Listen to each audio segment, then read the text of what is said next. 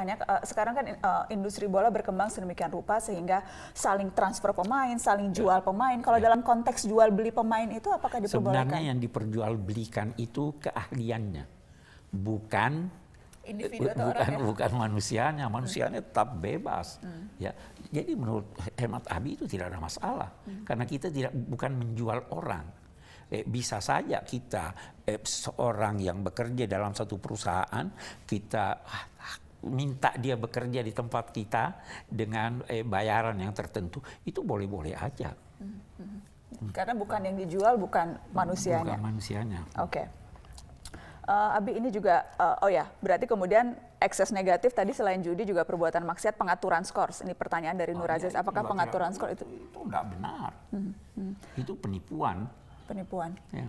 Uh, dari Yesi, bagaimana menurut Abi tentang fans-fans sepak bola yang sering bertindak anarkis? itu apa ya? Orang bodoh itu.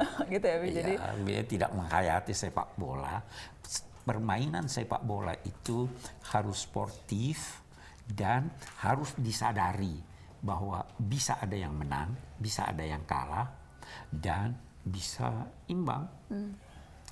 Jadi, Jadi tidak tidak harus kita emosional. Oke. Okay.